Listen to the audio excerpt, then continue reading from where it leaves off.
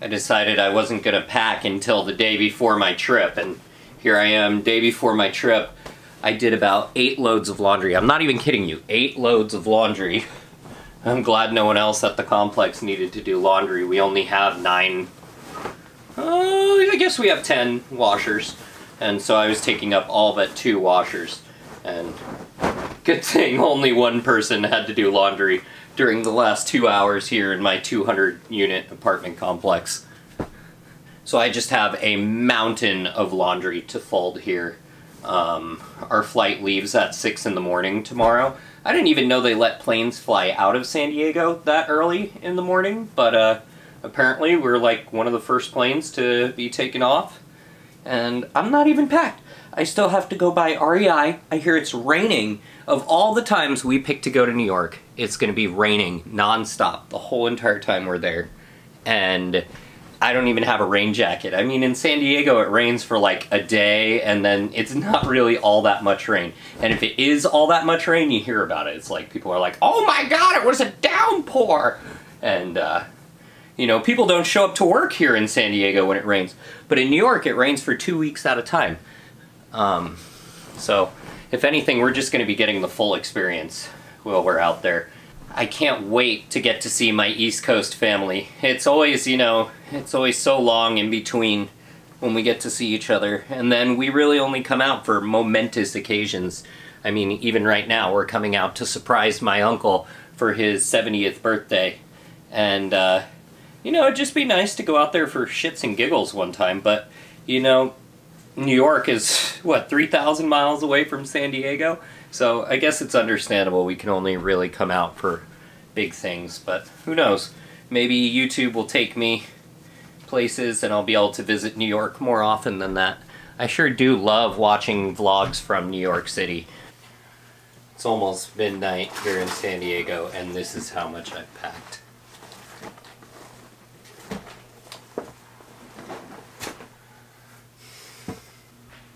Most definitely gonna bring this with me and uh, see how it works out. The gimbal I just got.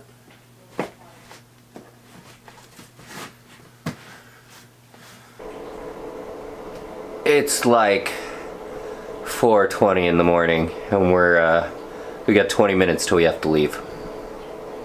Holy cow! Parents are outside. Let's go out and say hi to them. Yes, sir.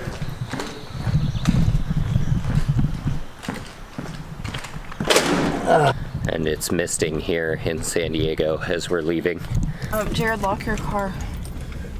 Where is your car? Buddy? My car's down at the bottom of the street, but where? Which? That I don't even to think the I left got or to the right. Uh, to the right. Do you have your keys? Yeah, I got my keys. So can you go click click? Yep, I'll go click click. You got it. Uh, no, it's on the right here. I should be able to reach it. Where is it? To the right or left? Click, click. Yep. Flashing. We're click, click.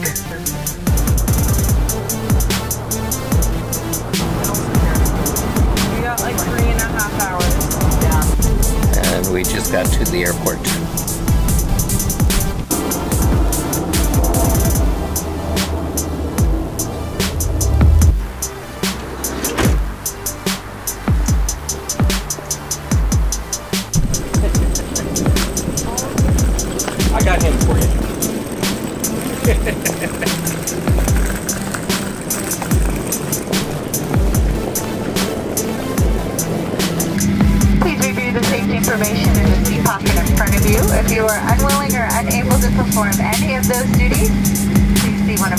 Attendants. Immediately welcome aboard.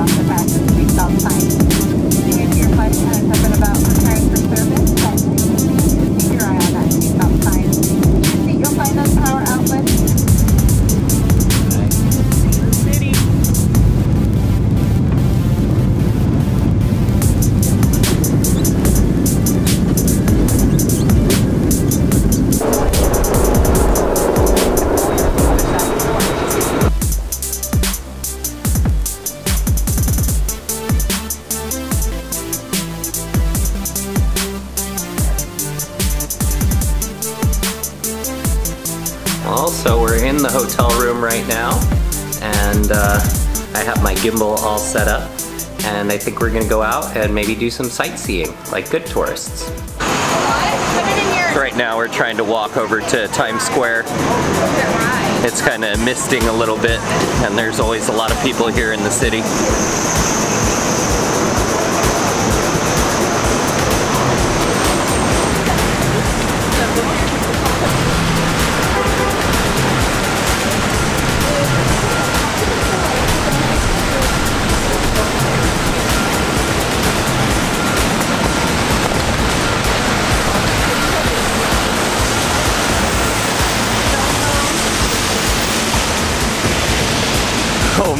My camera lens has a lot of water on it right now. It's a little bit harder than I thought it would be walking around trying to film in the rain in New York City, but uh, we're only here for one day, so I figured I'd try to make the best of it. Uh, the whole purpose why we're out here is we're gonna surprise my uncle for his 70th birthday. He has no idea that we flew all the way from California for the event, so hopefully I'll be able to get a little footage of his surprise later. Definitely my arm workout of the day, walking the city with a gimbal in your hand. It's like holding a 15 pound weight at a 90 degree angle.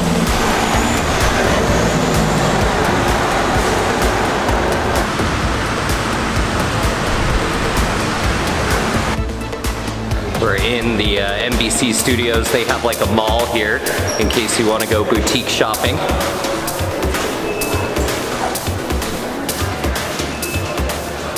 Always a ton of tourists in here. Okay, we're just leaving NBC Studios right now.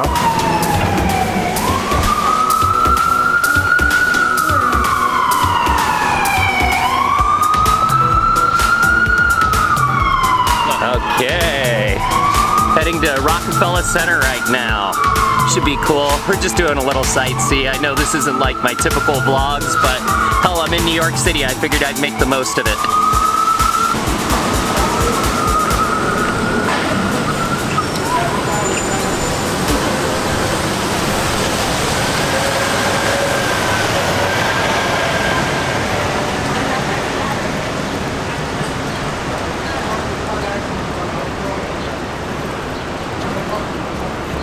in the rain.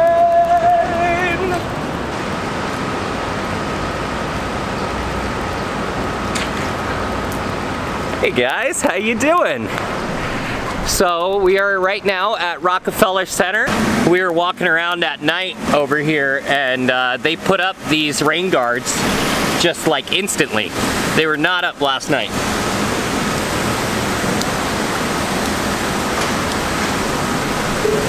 There's some really cool fountains here. It was designated as a national landmark uh, back in 1987.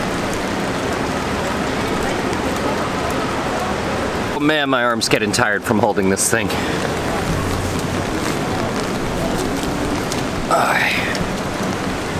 I'll show you guys some of the cool statues here at Rockefeller Center.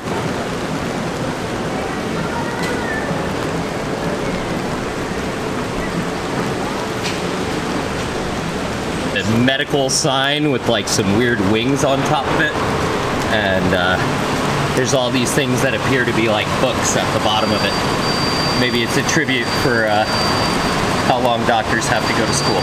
I don't know.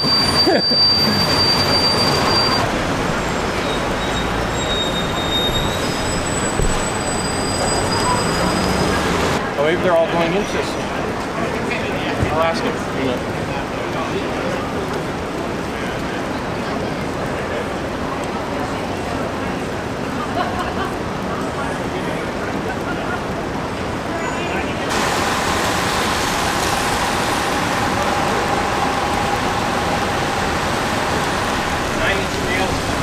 no way. Have you ever heard of them? Yeah, I've heard of Nine Inch Nails, so I guess Nine Inch Nails are performing in the city today, and this is the line to go see them.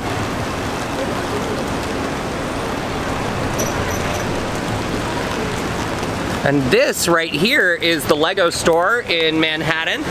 Uh, they had some really cool recreations here we were looking at last night.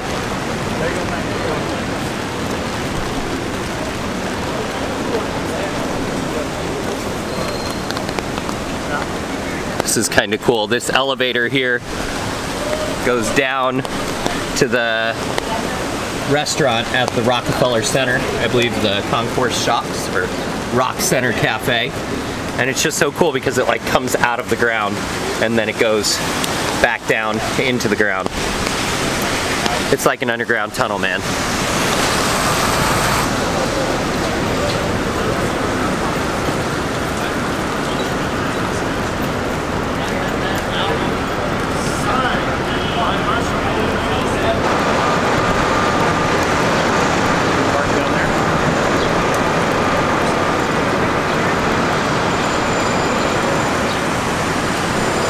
The hotel right or left? Okay.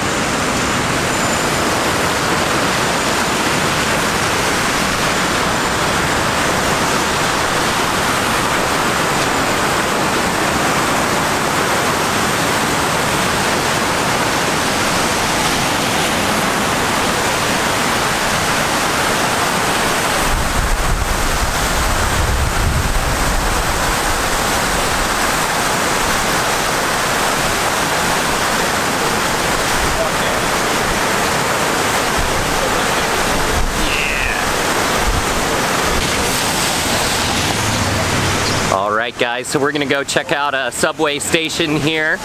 It's pretty cool how they work. They're just underground, and uh, you walk down some stairs and you can get on a train. Woo, and there goes my gimbal.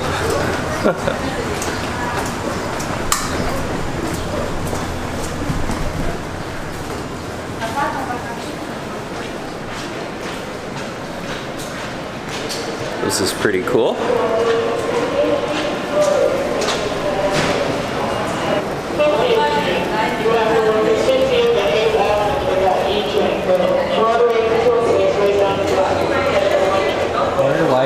Closed. What the hell?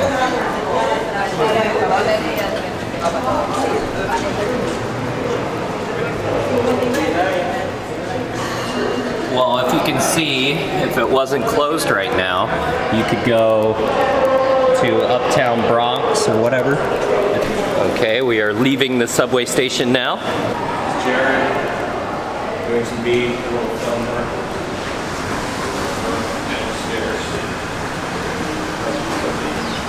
Subway.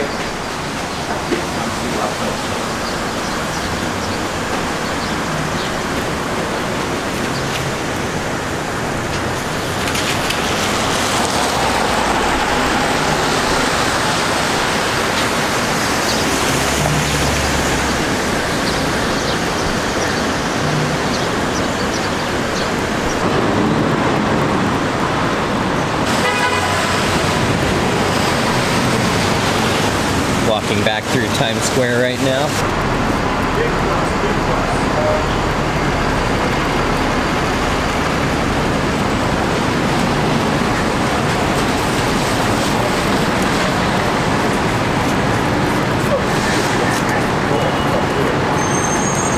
Big bus.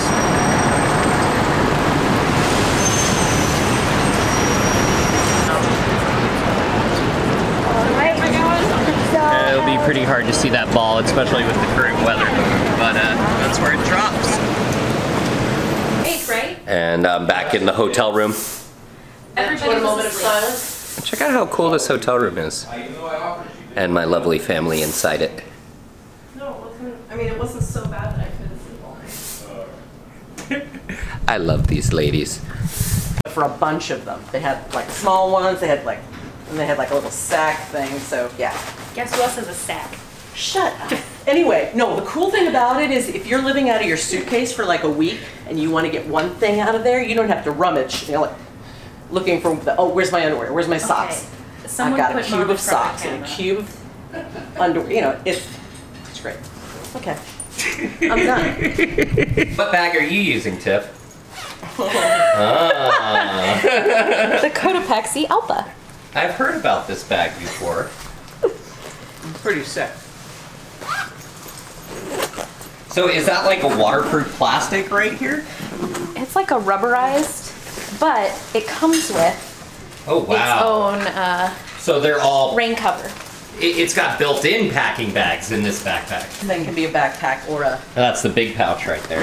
Yep. And then you can, when it's on your back, you can open it up, get something from the inside. So you, if you left your jacket right here, you could grab it. Oh it. wow, so that's like a quick wrap pouch. And then it also has like padded, it's got a waist belt, you can tuck your things in. But this side, oh, And this is like a brand new company that's kind of starting up. they've been around since 2016. Okay. But and then new. this has like your laptop or important document pocket. Ah.